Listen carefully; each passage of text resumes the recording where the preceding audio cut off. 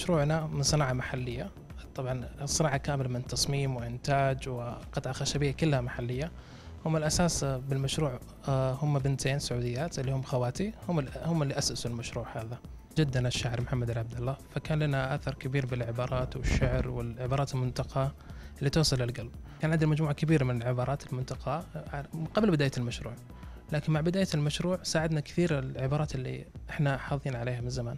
التصاميم إحنا نميل للبساطة بالتصميم وكثير بدأ يمشي على النهج هذا وهذا أكبر دليل على نجاحنا لكن إحنا نؤمن أن المقلد لا يمكن أن ينجح.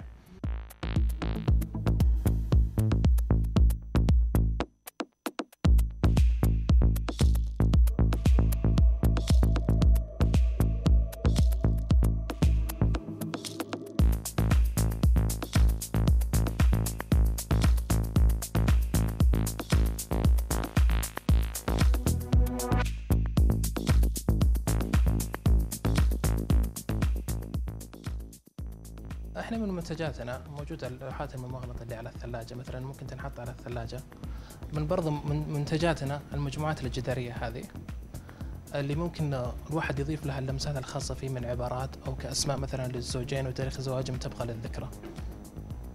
طبعا المجموعات الجدارية هذه ممكن قد يكون لها أكثر من طريقة ممكن تنحط على الطاولة كتجميل للمكتب أو ممكن تكون على جدار في عدة خيارات له طبعا الممرضة تكون ممرضة مو شرط على الثلاجة فرضا على على أي سطح حديدي على المكتب على جدار برضو ممكن.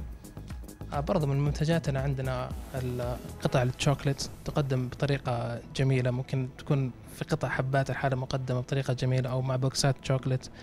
من منتجاتنا برضو صناديق للشاي للسكر النوتات للجامعة مثلا.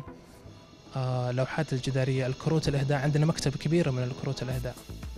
لو تلاحظون كثير من المشاريع بدأت وتطورت بأشياء بسيطة وحققت نجاح كبير. أكيد الشغل أكيد أنه شيء إيجابي. طبعا بالبداية بيكون صعب جدا. أنا بالبداية كنت آه، يعني شغل بسيط جدا ومتعب جدا. لكن حاليا تعديت المرحلة هذه وصار مشروع كبير جدا ولله الحمد.